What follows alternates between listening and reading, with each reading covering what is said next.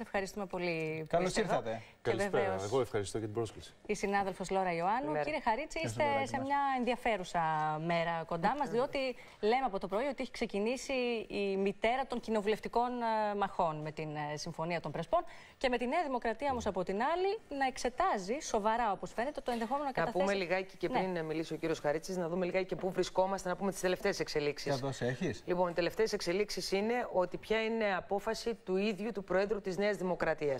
Δηλαδή, έχει Να ξεκινήσει την κανονικά καταθέσουμε. η συζήτηση από το πρωί.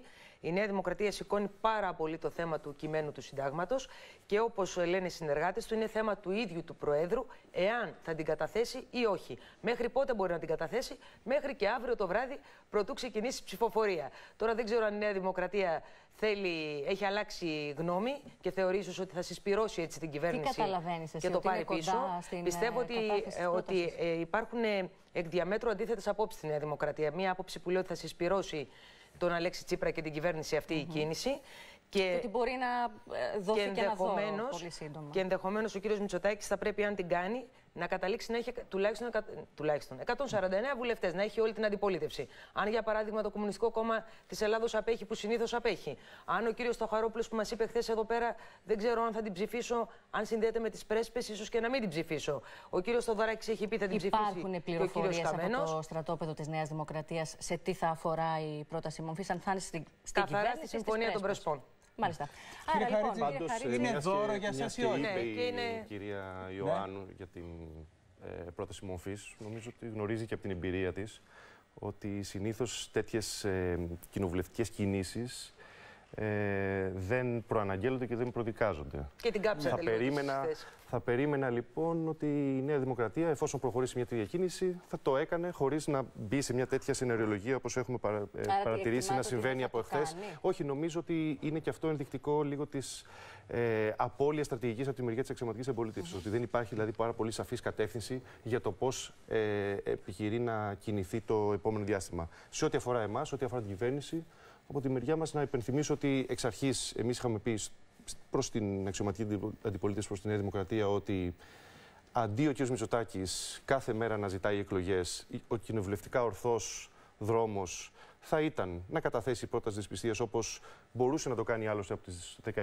Δεκεμβρίου και μετά. άρα Δεν το καλοδεχόμενοι. έπραξε. Από τη μεριά μας, λοιπόν, έστω και τώρα και αργοπορημένα είναι καλοδεχούμενη αυτή η πρόταση και νομίζω ότι για την κυβέρνηση έχει ένα διπλό κέρδος. Καταρχάς, θα έχει μια τέτοια πρόταση την ευκαιρία η κυβέρνηση και ο Πρωθυπουργός να καταγάγει μία ακόμη κοινοβουλευτική νίκη, γιατί βεβαίως η πρόταση αυτή, σύμφωνα με όλες τις εκτιμήσεις και με τη δική μας εκτίμηση, ε, θα καταψηφιστεί, δεν θα περάσει. Και το δεύτερο ε, κέρδος, κατά τη γνώμη μου, είναι ότι θα υπάρχει περισσότερος χρόνος και στην ε, Βουλή για να συζητηθεί ακόμα πιο αναλυτικά από τη διαδικασία η οποία ήδη έχει προβλεφθεί και προβλέπεται από τον κανονισμό της Βουλής η Συμφωνία των Πρεσπών, έτσι ώστε οι Έλληνες πολίτες να είναι ακόμα πιο πλήρως, αν θέλετε, Φαίνεται ενημερωμένοι όμως ότι για, ο το, κύριος για αυτή τη Καμένος, συμφωνία. ο μέχρι πρώτης κυβερνητικός σας εταίρος, εξετάζει το ενδεχόμενο να στηρίξει την, α, την το πρόταση είπε μορφής. χθες. Το έχει δηλώσει κιόλας νομίζω. Το είπε έχει δηλώσει. χθες. Εντάξει, Και ο- τις ο- ο τελευταίες μέρες καθένας- κινείται και με έναν πάρα πολύ δρυμή τρόπο, με μια Κυρία ρητορική Τζίμα, πολύ κατά τη γνώμη επιθετική. μου ότι ο καθένας, πόσο μάλλον ε, ο αρχηγός ενός πολιτικού κόμματος, κρίνεται και κρίνεται αυστηρά από, την, από το Κοινοβούλιο, κυρίως από το ελληνικό λαό και κυρίως από την ιστορία, σε σχέση με αυτά τα οποία έκανε τα προηγούμενα, το προηγούμενο διάστημα και με το πώς ε, λειτουργεί σήμερα. Με αυτή την έννοια, νομίζω ότι ε, είναι δικαίωμα του καθενός να τοποθετηθεί υπέρ ή κατά μιας τέτοιας πρότασης που ακόμα αποτελεί ένα ενδεχόμενο, δεν είναι μια βεβαιότητα. Ναι. Έτσι. Ε, από εκεί και πέρα, όλοι θα κρυθούν όταν έρθει η ώρα από τον Οι ελληνικό λαό. Δείχνετε λίγο δράσει σαν του αμέ. κόσμου σας ανησυχούν; Σας προβληματίζουν. Υπήρχε πάρα πολλοί κόσμος που συγκεντρώθηκε την Κυριακή. Αύριο, αν ψηφιστεί, πάλι θα υπάρχει κόσμος έξω από τη Βουλή. Κύριε, κύριε Λάμπρου, υπήρχαν θα σας και πω το εξής. συγκρούσεις, υπήρχαν χημικά, υπήρχαν Εγώ- άσχημες εικόνες για τη χώρα. Εγώ προσωπικά, αλλά και εμείς στην κυβέρνηση, το έχουμε πει σε, ε, νομίζω σε όλους τους τόνους και ε, αυτό είναι κάτι το οποίο άλλωστε είναι αντιστοιχεί και στην δική μας διαδρομή. Ποτέ δεν φοβηθήκαμε και ποτέ δεν θα βρεθούμε απέναντι, αν θέλετε, σε ε, δημοκρατικά εκφρασμένη διαμαρτυρία του κόσμου, ε, μερίδας του κόσμου, για τις πολιτικές εξελίξεις, όποιες είναι αυτές. Η αίσθησή σας πάντως, κύριε Χαρίτση, είναι ότι η κοινωνία αγκαλιάζει αυτή τη συμφωνία. Εγώ έχω την εικόνα και την αίσθηση και δεν νομίζω ότι δεν είναι μόνο δική μου, είναι ακόμα και της ίδιας αξιωματικής αντιπολίτευσης, ότι το συλλαλητήριο της περασμένης Κυριακής ήταν κατώτερο των προσδοκιών Και Όσον νομίζω αφορά στον όμω, όγκο, λέτε. όσον αφορά στον όγκο στην ε, προσέλευση του κόσμου. Και νομίζω όμως, και αυτό είναι το πιο, αν θέλετε, ε, ε, κρίσιμο και σημαντικό, γιατί επαναλαμβάνω, η ειρηνική διαμαρτυρία είναι προφανώς δικαίωμα των Ελλήνων πολιτών και είναι ε, από τη μεριά μας καλοδεχούμενη. Από εκεί πέρα όμως, νομίζω ότι πολιτικά αυτό το οποίο μένει από ε, την προηγούμενη Κυριακή, δυστυχώς είναι μια. Ε, αν θέλετε, συμπόρευση της αξιωματικής αντιπολίτευσης και μια κάλυψη ε, πολύ θλιβερών ε, επεισοδίων Την που είδαμε να αντιπολίτευση. συμβαίνουν. Τα, τα που να συμβαίνουν καταδίκασαν το- ε, πάντως, Εντάξει, κύριε Χαρίτση. νομίζω, νομίζω κυρία Τζίμα ότι μ, ξέρετε πολλές φορές ο τρόπος με τον οποίο τοποθετήσεις σε ένα γεγονός δείχνει και τελικά κατά πόσο θες να το καταδικάσει ή όχι. Νομίζω ότι ήταν πάρα πολύ σαφές και από τη μεριά της αξιωματικής αντιπολίτευσης ότι δεν υπήρχε ξεκάθαρη καταδίκη αυτών το οποίο συνέβησαν. Από τη μεριά της αστυνομίας, δείτε τις εκθέσεις της ελληνικής αστυνομίας αλλά και του φρουράρχου της Βουλής. Εσάς Είναι πολύ που είστε σαφές και ότι ένας υπήρξε- νέος άνθρωπος ότι και υπήρξε μια ένα πορεία οργανωμένο σταθερά σχέδιο. σε αυτόν τον α, Ναι. χώρο της αριστεράς, κύριε Χαρίτση. Σας ικανοποίησαν αυτές οι εικόνες. Καθόλου. με τα χημικά; Καθόλου. Καθόλου και το λέω με το χέρι στην καρδιά. Καθόλου δεν με, δεν με ικανοποίησαν οι εικόνες τι οποίες είδαμε. Αλλά αυτό το οποίο με ανησυχεί πάρα πολύ είναι το γεγονός ότι είδαμε ε, στο κέντρο της Αθήνας οργανωμένες φασιστικές ομάδες. Ξέρετε, η εικόνα την οποία. Και Θα σα το πω και από προσωπική εμπειρία, αλλά και από πώς μεταφέρθηκε. Την επόμενη μέρα το πρωί, τη Δευτέρα το πρωί, Ναι, το ναι. κέντρο της Αθήνας, το Σύνταγμα, Βομβαρδισμένο. να είναι ε, όχι απλώς ένα βομβαρδισμένο τοπίο, Κομματιασμένο. αλλά να έχουμε ε, συνθήματα στους τοίχους τα οποία παραπέμπουν σε άλλες εποχές.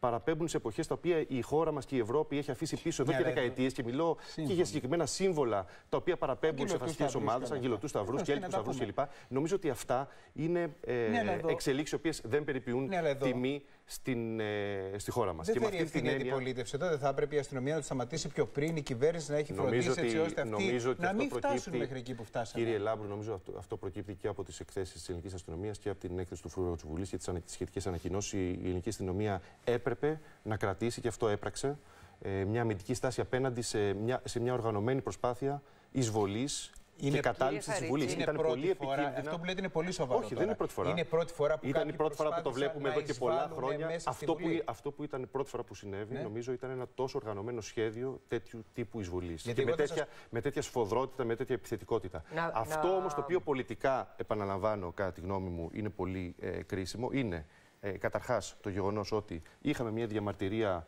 Και βεβαίως εγώ δεν θέλω να λειτουργήσω σοπεδετικά, ούτε να τσουβαλιάσω.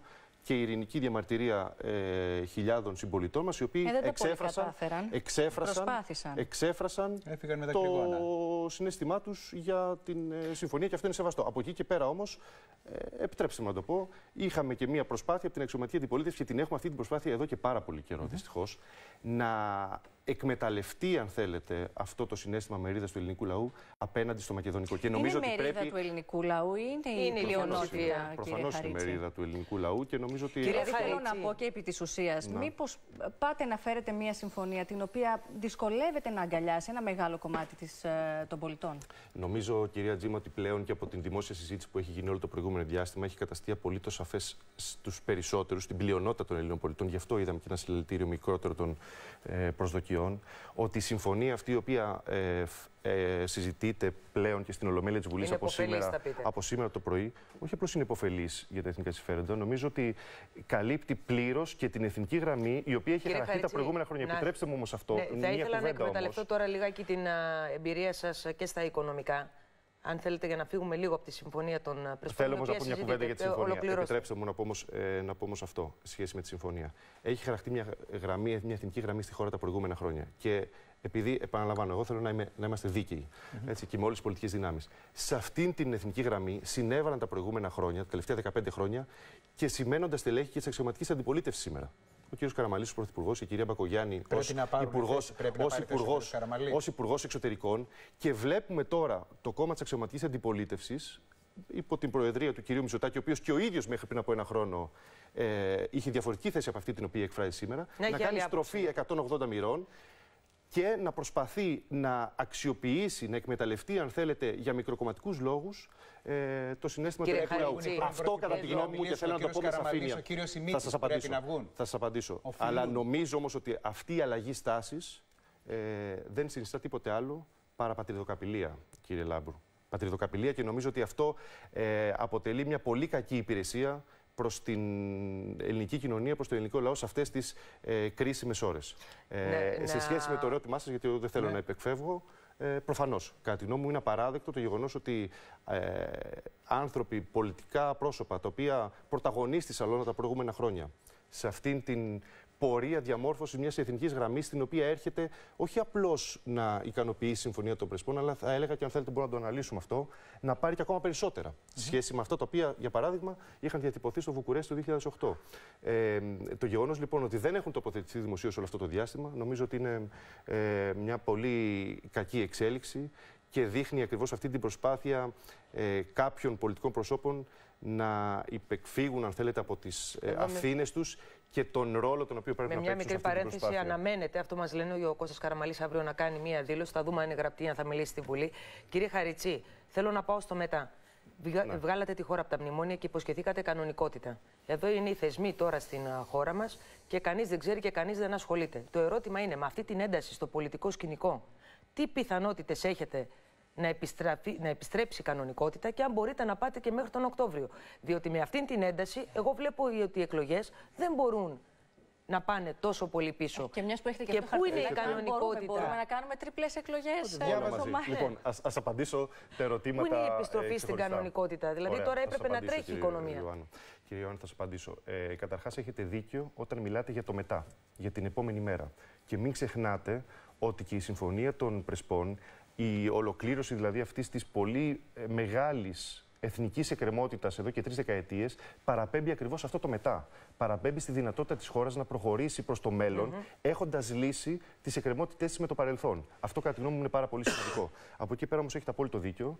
Η δουλειά την οποία έχει κάνει το γνωρίζετε και εσείς πάρα πολύ καλά. Η κυβέρνηση τους τελευταίους μήνες, θα έλεγα από, την, από τις 20 Αυγούστου και μετά, από την έξοδο από το μνημόνιο και μετά, ακριβώς για να μπορέσει, εγώ δεν θα χρησιμοποιήσω τον όρο επαναφορά στην κανονικότητα γιατί δεν, δεν μου αρέσει, δεν ε, ζη- ε, προσπαθούμε να επιστρέψουμε σε ένα Καλά, αυτό είναι και παρελθόν, αδύνατο, βέβαια. προμνημονιακό Γιατί αποκλείεται παρελθόν. να φτάσουμε. Θα ήταν υποκριτικό εκ μέρους μας να ε, υποσχόμαστε κάτι τέτοιο στους Έλληνες πολίτες και νομίζω ότι δεν είναι και αυτός ο, ο στόχος. Η ελληνική κοινωνία έχει οριμάσει μέσα από όλε τι Δεν θα προλάβετε. Αυτό είναι το θέμα μέσα σε αυτό το αυτό πολιτικό το οποίο κλίμα κάνουμε έντασης. λοιπόν το τελευταίο, το τελευταίο Γιατί διάστημα. τους αναγκαστείτε να πάτε τελευταίους στις μήνες, εκλογές; Επιτρέψτε μου. Το τελευταίο διάστημα τους τελευταίους μήνες είναι ακριβώς μετά και τις εξαγγελίες του Πρωθυπουργού στη Διεθνή και στη Θεσσαλονίκης να υλοποιούμε μέτρα, μέτρα ελάφρυνση, τα οποία έρουν μέρος αυτών των αδικιών που συνέβησαν την μνημονιακή περίοδο. Και αυτό νομίζω ότι σιγά σιγά ο, ε, ο ελληνικός λαός το αναγνωρίζει. Για να απαντήσω όμως ευθέως και στο ερώτημά σας, νομίζω ότι αυτή η πορεία η οποία έχει ξεκινήσει από τον Αύγουστο του 2018 πρέπει να συνεχιστεί και να ολοκληρωθεί. Και πρέπει να συνεχιστεί και να ολοκληρωθεί άρα και η θητεία Μπορεί της- σε αυτό το της συγκεκριμένης πολιτικό κλίμα. κυβέρνησης. Εντάξει, κοιτάξτε, όλα τα προηγούμενα χρόνια έχουμε ε, συνηθίσει να πορευόμαστε μέσα σε ένα δύσκολο κλίμα, με εντάσεις, με προβλήματα, με μια καταστροφολογία από τη μεριά της αντιπολίτευσης σε σχέση με μνημόνια, με κόφτες, με ε, πιστοληπτικές γραμμές, με τέταρτα μνημόνια κλπ. Νομίζω τα, τα θυμάστε, δεν χρειάζεται τώρα να τα επαναλάβουμε. Ε, Παρ' όλα αυτά, η κυβέρνηση προχωράει και υλοποιεί το έργο της. Και νομίζω ότι πρέπει αυτό το έργο να ολοκληρωθεί, άρα πρέπει να φτάσουμε Άρα, μέχρι ο, τον παρόλα Οκτώβριο του αυτά, 2019. Αν πολιτικά Αλλά παρόλα κριθεί αυτά, ότι πρέπει να πάμε σε εκλογές το Μάιο, αντέχουμε τριπλές κάλπες Κοιτάξτε, Υπουργό Εσωτερικών. κυρία Τζίμανε, τώρα Σηκώνει το σύστημα. θέτεται Τι ένα θα θέμα το κρασάρουμε; οποίο είναι και της αρμοδιότητάς μου ως Υπουργό Ε, γι' αυτό Εσωτερικών. το ρωτώ.